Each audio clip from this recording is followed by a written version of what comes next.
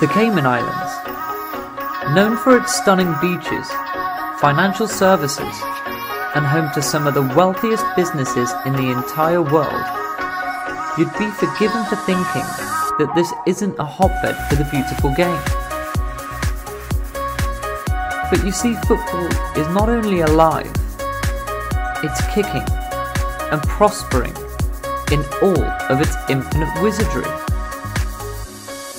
Our guest tonight is the man that plays a huge part in delivering this. From taking over a country without an international victory in over nine years to the cusp of Nations League glory, Global Football Part 3 welcomes Ben Pugh, International Manager for the Cayman Islands. So sit back, strap in, relax because you're listening to the wonderful sounds of the TTM podcast.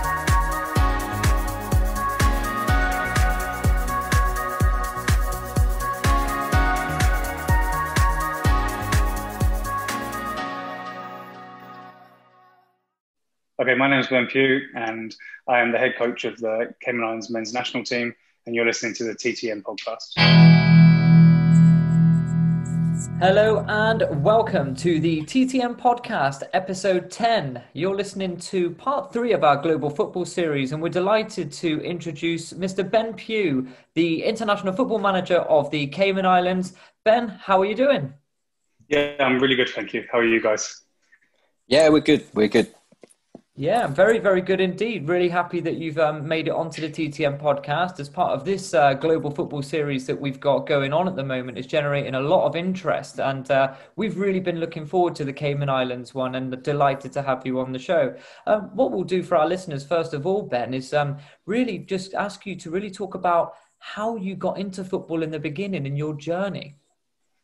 Yeah, sure. So um, I think, like most people, I played football from a very young age and uh, fell in love with the game and um, kind of watched it, played it. Every minute I wasn't at school, I was playing football. Um, was reasonably good. Um, kind of represented the county at 14, 15, 16, had trials but wasn't quite good enough and um, always had aspirations of, of, being a professional. But kind of when I got to college, I realised that I went to quite a good um, football college scheme at Bury Town and it was um, kind of one of the best in the area at the time. But when I got there, I kind of realised that maybe I wasn't as good as, as what I thought I was, and, and, kind of all the better players, those that had been released from Ipswich and Colchester and Cambridge, went to that program, and and it was kind of from then that I realised maybe maybe I'm not going to I'm not going to be a professional footballer, and um, but because I loved the game and because um, I wanted to uh, to work at the top of the game, I thought, what can I do to um, to have that, have that chance of, of working with the best players, of, of being involved in a, an elite environment. And so from quite early on, from kind of 16 up, I started coaching, um, doing my badges and, and got involved with Ipswich. Um, I actually went to, um, I did a sports science degree, and whilst I was there, I met a, a friend of mine who was coaching at Ipswich at the time. And um, I started working voluntary with the under eights. And and that was the start of kind of an, an eight year journey, which saw me working voluntary with um, eights all the way up to working with academy age groups and leading the youth development phase, so the, the 12 to 16s and helping out with the under 18s. And um, yeah, that, that's kind of how it started, and it built quite quickly, really.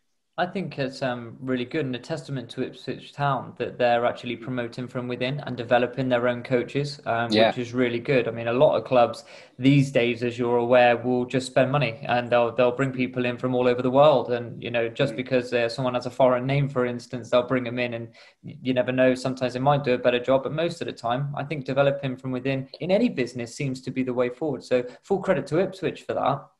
Who would have been the manager? Who would have been the manager at the time there, Ben? Um, so Mick McCarthy was the manager at the time, and um, it was him.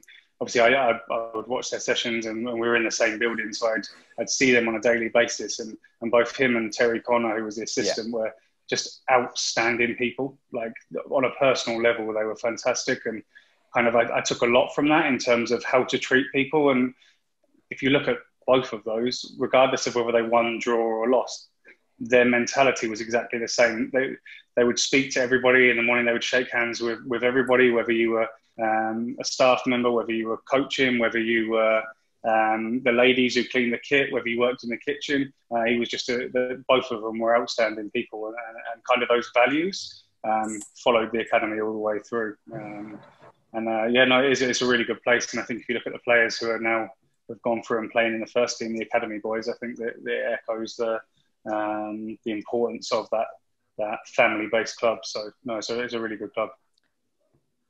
Whereabouts, um, for instance, in obviously you say you say Ipswich, and whenabouts were the years where you were there? Then, what sort of year did you sort of join Ipswich Town and then end up leaving Ipswich?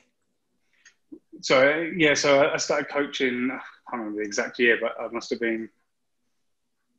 I don't know. Um, I was there eight years, and I came here two years ago. So I guess about 2010. So I started okay. coaching in 2010. Um, like I said, a variety of age groups and went from being part voluntary to part time and then part time to full time. Um, at first, I assisted the youth development phase and then I, I led the youth development phase just before I left. So, um, eight years sounds like a long time, but looking back, it went quite quickly. And yeah, um, it was nice because it was a variety of working with every age group. Um, so, kind of having that, that um, experience working with kind of six and seven year olds, yet also working with players that are almost on the fringes of the first team. So, would you have um, come into contact then with Tyrone Mings before his uh, transfer to Bournemouth? Yeah, so he was there. I didn't. Uh, I was uh, part time at the time, so I didn't see a, a lot with him. Uh, a lot of him. Sorry. Um, I know. Um, uh, I was there were, were, a few others. So we, if you look at the players that have come through, we've people like Connor Wickham, um, who went yeah. on to mm. um, obviously playing for Palace now, and there's also a lot of ex-players there. Uh, people like Kieran Dyer, people like Titus Bramble, James Scowcroft, um, and a variety of others. A, a real uh, good group of, of ex-players that go in there, and we've also got quite a few. Well, there's also quite a few good young players who. Have, there's a, a lad. Marcelo Flores, who was at Ipswich, he's now at Arsenal. He just signed a pro with Arsenal. We've got Ben Knight, who's at Man City, who, um, again, as a, a, pro at Man City, they paid a lot of money for him. So it's a, it's a club definitely based on development. And um, yeah, from what I hear, Tyrone was a really good guy and, and, people speak very highly of him. Not that I, I didn't know him personally. So they've actually, they're going through a bit of a sort of a transitional period. So I know that potentially Mick McCarthy often quite vocal, not necessarily yeah. the money there to invest in the squad. Um, so, so, it sounds like really that the emphasis at Ipswich is on the development I know they've had to maybe drop down into League One now, but hopefully that'll give them a chance. You know, blood the youngsters and hopefully get get back up in the Championship with a good young side. Hopefully. Yeah, hopefully, uh, like I said, yeah, is a is a very young squad, and then um, the beauty of being in the lower divisions is you can use those younger um, academy players. Maybe if you're you're in the Premier League or in the Championship, it's maybe more pressure to um, stick with those older, more experienced players. So no one likes being relegated, but in terms of club development um, and player development, it's certainly been a bonus in that in those eyes. I think yeah. Um, yeah, Ipswich have been through a lot. I remember when I was very young, um, Premier League. I think maybe at the turn of the millennium. I remember when Ipswich Town yeah. got promoted, went up, finished third. Had Marcus Stewart, Richard Wright, I believe, at some point yeah. in goal for them Correct. as well. Yeah, I, I remember. Uh, I was just then, like Martin Reus, the Dutch, yeah, the Dutch winger. Yeah, he was a good player with um, a moustache we are real football purists, um, if we're honest. You know, we were having a conversation um, the other day on LinkedIn with Julian Joachim. So I think um, that's okay, someone nice. that we're looking to try and get, really. But uh, um, but back to obviously yourself. So at the moment, you've, you've been through a lot of coaching. You've been at Ipswich for eight years. Um, what, what then happens, Ben? Yeah, so um, I think like any club, you have connections with different parts of the world because people bring players over and not necessarily for trials, but more for experiences. So um, there was um, a few people that brought players over from the Cayman Islands, and not that I didn't know them directly, but people from the club knew knew those, and um, an opportunity came up to work with a club here, which was an amateur club, um, but a, a, very good amateur club that um, that kind of were doing really good things in terms of youth development and pushing players through and trying to get players scholarships in, in the US and, and in England and, and various other countries. Um, and I quite liked the project, and I thought if it's it, maybe the job isn't as good as what I'm doing, but it's a life experience. I don't want to get to however old and say, well, I've only ever lived in Ipswich and, and not excited. I love to travel um, anyway. So um, I thought, you know, I'll, I'll, go and see what it's like. And I worked at that club for, for a year. And quite quickly after I got here, um, I started kind of volunteering and helping out um, the technical director at, at the Cayman Islands Football Association. Um, a guy called um, Alex Gonzalez, a, a, Cuban guy, and and between us we developed the football, uh, the the island's philosophy, the country's philosophies and DNA and ways of playing, and um, trying to structure the youth and senior leagues a bit better. And also he was um, the the senior team or the head coach of the national had just left as well, so he was kind of doing an interim role, and I helped him out as an assistant there. So um, I helped him for one game, and I, I, took most of the training, and, and that was in the March. And, and soon after that game, they, they gave me the, the job full time. So um, I worked with the, the senior men's team and also the U23s for the World Cup qualifiers. Um, and then yeah, kind of kind of built from there. And uh, and as I said, after after a, a, year of being here, I then moved on full time to the um, to the Football Association. And have you ever um, on the touchline? We we are speaking to uh, Dan Neville. Um, he says he's going to be coming across Guus Hiddink in the opposite dugout. Um, have you yeah. have you um, looked across the opposite dugout and thought, Jesus Christ? You know, have you uh, have you come up against anybody yet of any stature?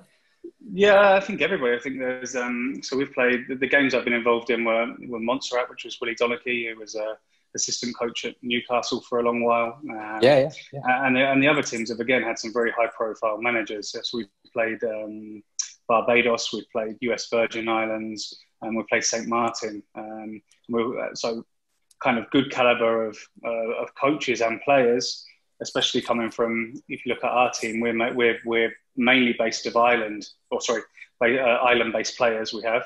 Um, and I think every team we've played have had a, a number of uh, professional players, and that's been a, a, challenge for us to, or our players to have to deal with. And, and I think then we've now got the FIFA World Cup qualifiers where we've actually been drawn against Canada, which is uh, obviously a, a, very tough game, um, but a fantastic experience for our players, and you know potentially playing against a, a Champions League winner. Um, so that might, I think, that will be a, a great experience. That'll be here as well, which will be great for the island. And I know obviously COVID at the moment is a is of course an issue. So hopefully that um, we can have those games, and, and, we're quite lucky here that there's very few cases, and we've been almost COVID free on and off uh, for a couple of months. So everything's kind of back to normal in terms of uh, the football scene, the youth leagues, the, the senior leagues. Um, all we're missing is the tourism industry, and unfortunately, the, the island is built on tourism, so certain yeah. sectors of the island are struggling, but uh, football is, is kind of back to normal.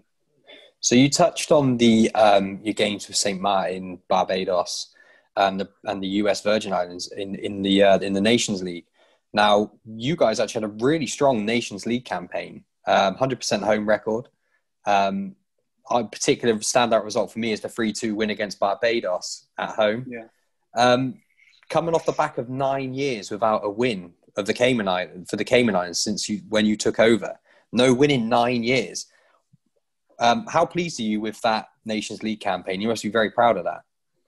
Yeah, massively, and, and it, it, was. Um, I was really pleased, kind of for everybody. It had been a rough few years um, for a number of reasons, and and like I said, nine years without a win, and it was. Um, I felt like we just needed a bit more structure, so we, we had a real clear game plan for all of those games, and I think especially like Barbados, I think they probably underestimated us a little bit, knowing that we hadn't won a game for nine years, and um, and, and, to be fair, credit to the players, they were outstanding across the whole the whole campaign. And to narrowly miss out on goal difference was, of course, um, disappointing, but massively proud of how we did. As I said, you said won four out of six games and um, won every game at home. So um, really, really pleased, and hopefully that's something we can carry on in the in the next process. I think if you look at um, our long term goals, qualifying for a World Cup is going to be extremely difficult, as we know. But um, qualifying for a Gold Cup may be a possibility one day. So if we were to win the Nations League group in the, in the next process, you then go into two qualifying games, and if you win those, um, you get into the Gold Cup.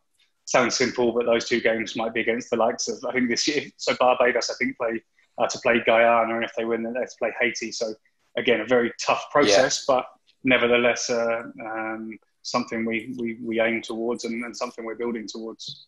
so you look at you look at someone like a Guyana, relatively new nation, um, similar similar to to yourselves in a way, where it's not not really a, a well known world sort of power. They've they've done well. They qualified for the Gold Cup. You know, yeah. it, it can be done.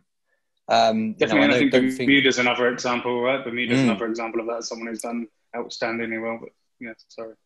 So yeah, it can, it can be done. You know, there's. I think the talent in, in the Caribbean is often not really spoken about. I think there's there's depth there, and there's certainly opportunities for the smaller nations to get get you know get through to these competitions. Yeah, definitely. I think another Montserrat or another team who are yeah. um, an island of kind of twelve thousand people who um, have done exceptionally well and have a real good um, identity and, and, program. And I think if, if, it's like anywhere, if you if you get the right organisation and you get the right people involved and uh, you build that environment and that culture, which um, everybody kind of is working towards the same goal, I think you can certainly you know achieve something. I agree. I think the Caribbean is there's some very very good players that I've seen in, in our games and in, in other games of players that should be playing at a much higher level. Like like I said, we've got players in my opinion who could be who should and could be playing at a higher level. And we had a couple go on um, on trial in the US. Um, and we're supposed to go back into another couple of clubs, but obviously due to the current uh, climate, it was impossible. Um, but yeah, I think that the Caribbean has a, as I said, has a has a lot of potential. Yeah, absolutely. Am I right in saying that um, your main rivals, if you do have any, would Cuba, would the Cuba game be a be a big one for the for the nationalists sort of on the island?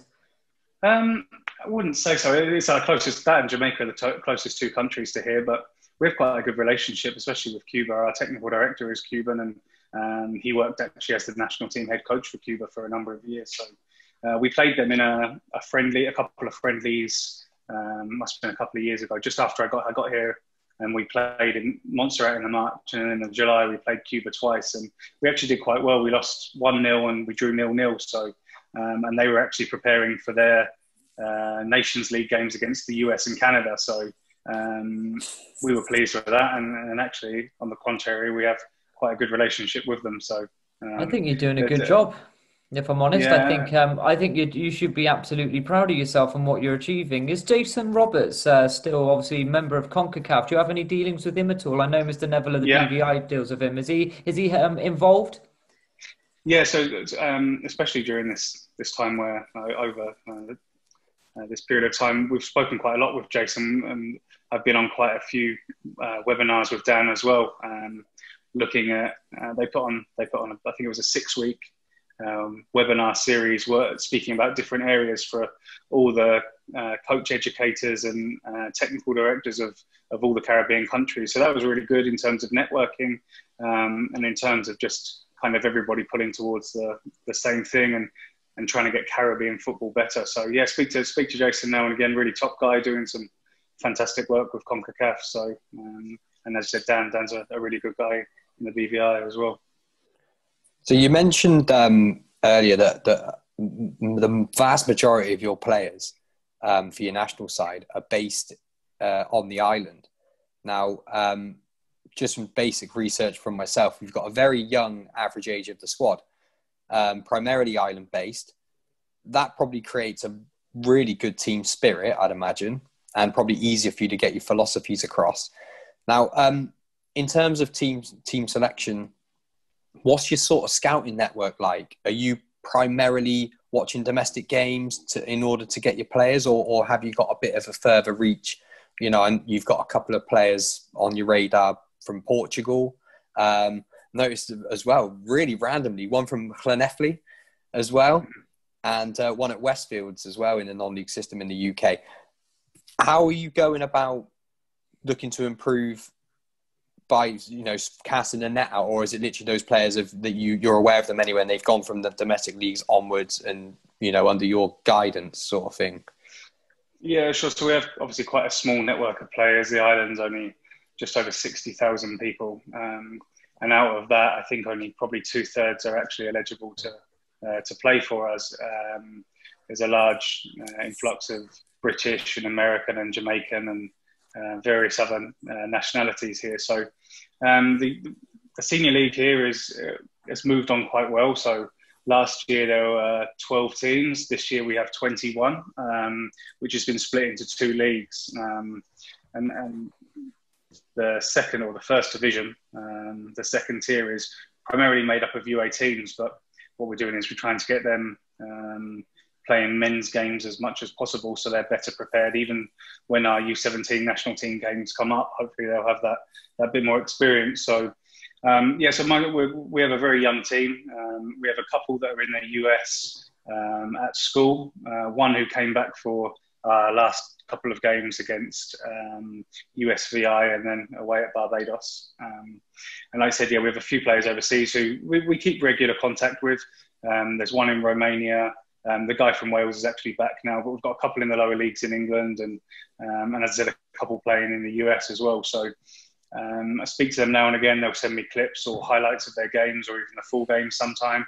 Um, and because it is quite a small pool, it's easy to keep tabs on them. Um, I don't think we're missing too many players in terms of, uh, or I don't think there's too many players we don't know about um, that, uh, that, that, could play for us.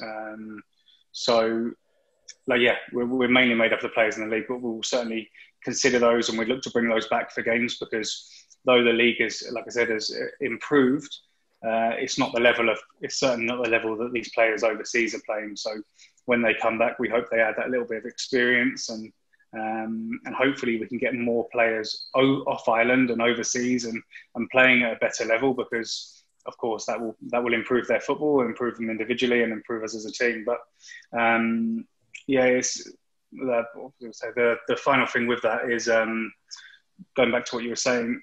There's there's lots of negatives about being a small island, but one of the the big bonuses is because most of our players are island based, we can train all the time. So we train regularly. We train twice a week, which is um, certainly an advantage. Um, we mm. train at the national stadium.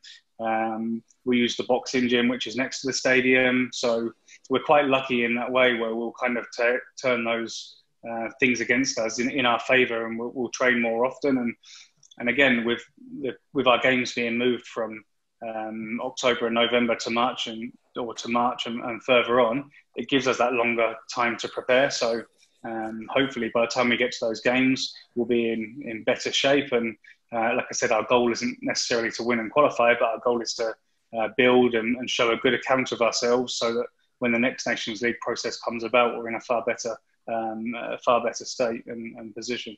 Well, I mean, let's just you know let's put it into context. Okay, an island of sixty thousand people, probably the same sort of size of an average town in the UK. You are winning four out of six of your games. Your group's consisting of Aruba, Bermuda, Suriname, Canada. You're doing a very, very good job quietly. If I've got £100 in my back pocket, do I put £100 on Cayman Islands finishing the top three of that world qualifying group? uh, I'm not sure. I'm not sure. It's uh, like I said. Uh, I think we're we're certainly going as underdogs, but I think we're um, you know stranger things have happened in football, right? We all saw Leicester yeah. win the league. We've all seen Liverpool lose last week, seven two to to Aston Villa. So um, yeah, I saw before you're, you're a Liverpool fan, James. Sorry. Yeah, um, that was like a dagger through the heart. Yeah, yeah sorry. well, maybe I should have said Istanbul, Istanbul, then maybe would have been a better one, right? Um, Absolutely. But you know, I right. think if, if, if we prepared properly, properly, um, and we have a little bit of luck, like we, we did against Barbados, the same thing. We, we prepared uh, in the best possible way, and um, we were very well organised. And I think if we do that against anybody, and the longer we can contain them and the more confidence can build, then you never know what will happen. Um, we like to, you know, we'd never go into a game thinking we'd be happy with a draw or a loss. So, you know, we, we go into those games wanting to win the games, but we're also realistic knowing that will be um, incredibly tough. So, um, as I said, it's, it's, a, it's, a, building process. We don't expect to qualify for a World Cup, um, but you know, the longer term plan, this is essential. We've like we said before, it's a very young team. We have um, two or three 18 year olds. Uh, we've got a 17 year old who's who's doing very very well, and um, with the exception of maybe three or four involved in the squad, most players are under kind of 23 years old. So we're certainly building for the future as opposed to building for right now. And um, yes, we did very well in the previous process, but um, if if we're going to really kick on as a nation, we have to get um, we have to invest ourselves in those younger players, and of course use the, the experience and the leadership that some of those older players bring, but really invest in that in the youth uh, programs in the younger age groups, the 17s, the 15s, and get our domestic leagues right. If we do that, maybe uh, you know I probably won't be here in five, ten years, but um, maybe in, in five, ten years, the Cayman Islands can, can shock somebody and, and, and, achieve something because we've kind of built the foundation. So, in lots of ways, as well as we're planning for now, we're also planning for the future and kind of leaving a legacy and, and, and building a culture. So, so it's very similar um, to the, the, the BVI in many ways, where they've kind of stripped it back from what it was, heavily um, invested into a philosophy of youth. Take the hit now, get these players experience at the level, uh, at a high level, gain those caps, increase those caps, and then looking for the, you know, the, the maybe the 2026 World Cup uh, mm. qualifying and, and, and look at sort of having a more experienced squad that have been together as a group for a lot longer. Um, I think it seems to be a bit of a theme throughout the Caribbean, uh, from what I can see.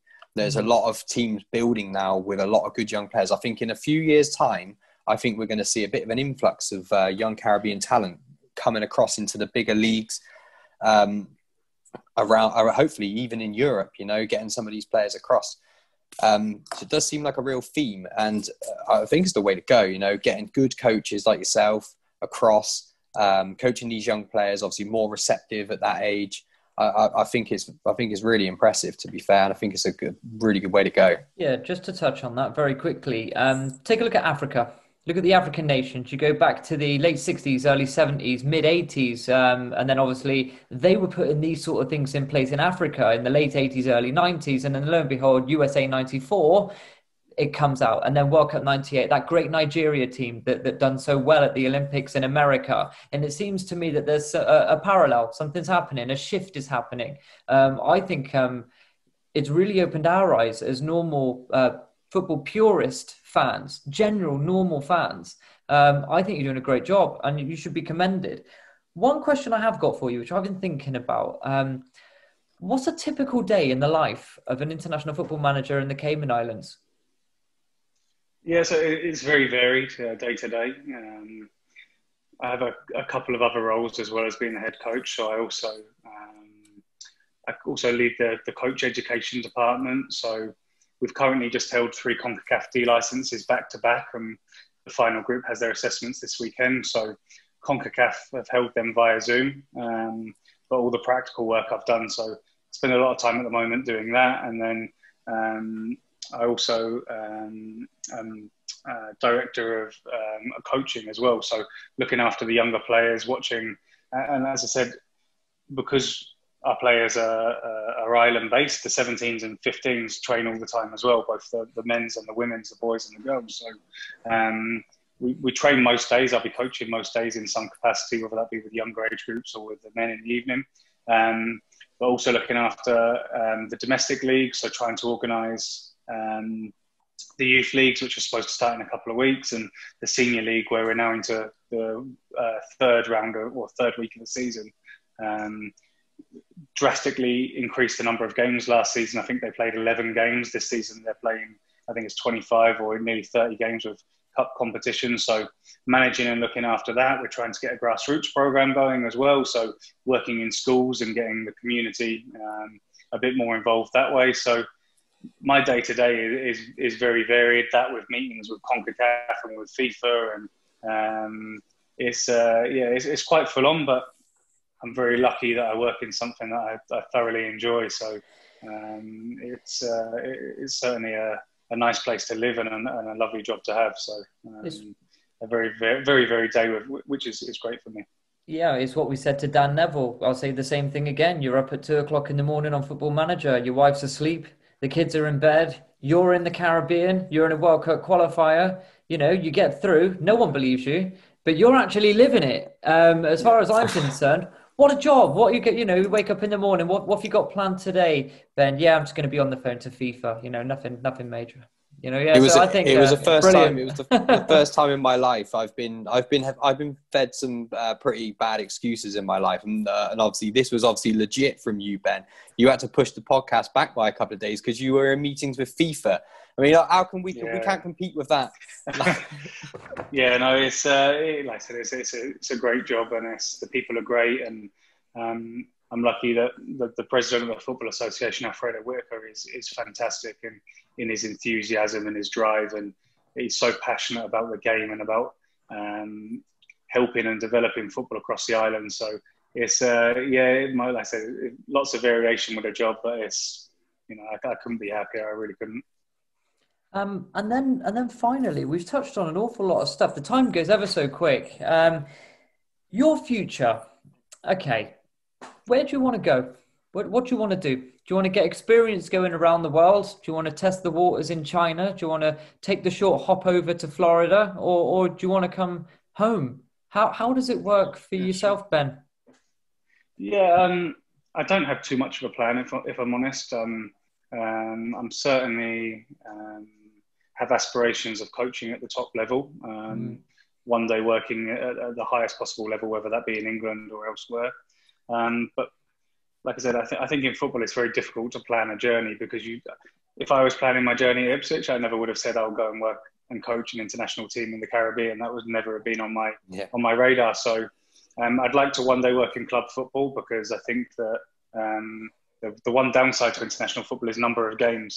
Um, of course, there's lots of benefits of working in international football and the opposition and, and, and the travel been to some you know unbelievable places. But um, yeah, like I said, I'm quite open-minded and I'm certainly um, I'm certainly um, not looking for anything right now, and, and I'm happy where I am. And I think there's a lot to do here, and, and we'll, we'll just see what happens further down the line. I'd I'd like to come home at some point, um, but certainly not yet. So uh, here's a scenario for you, Ben. All right, you've you've had a really successful World Cup qualifying campaign. You just miss out on qualifying. You just narrowly miss out on goal difference to Canada. Alphonso Davies has scored a last-minute winner in the Cayman Islands to knock you out. You're thinking where you're going to go next. The phone rings. A National League club just bumbling around the relegation zone. Let's say it's Kings Lynn. Ben, we really need you to come in. Please, will you come in and be our manager? Would that tempt you? Um, I don't know. I honestly don't know. It's uh, it, depends on the time and the situation. Uh, like I said, I, think it's a really good project here, and to bring me away from here would have to be a, another really good project around with, with people who I think you know are the right people, um, whether that be the the owner, whether that be the president of the football association, whoever it be. I'd have to have very similar goals and uh, values to, as to what they have. So, uh, yeah, I, I, don't know. I honestly don't know. Uh, It's uh, you know, I think it's it's one of them things that we can't plan for, and we'll just see what happens. Yeah, absolutely. I think um, you're working extensive work with the youth players and the youth systems at the clubs that you've been at, and obviously the international scene. You're building from the bottom up. I mean, one one way that you could go potentially is to still continue to work with that, but at a monster club. Um, those Mhm. jobs are highly sought after, sought after too. And if I was an employer and, and someone of your caliber comes in with that resume, I'd find that very difficult to turn down. If I'm honest with you, I think you're a class act. I think you've done a great job. Um, as far as I'm concerned, yeah, but yeah, no, I, I- it's been an absolute privilege to have you on our podcast. As far as I'm concerned, the dream game that we want to see is the British Virgin Islands against uh, against the Cayman Islands. I think uh, I'd love Sure. to commentate on that. Uh, that would be great. Um, but uh, you know, look, I see. What, I- I see what we can do. See if we can organise a friendly at some point. that would be great. If you, if you Yeah. do, let us know, right? Because uh, we're, we're dying Yeah. to get over to the Caribbean. That's one thing we're Yeah. desperate for is to get over to the Caribbean and watch some football. Yeah, definitely. No, 100%.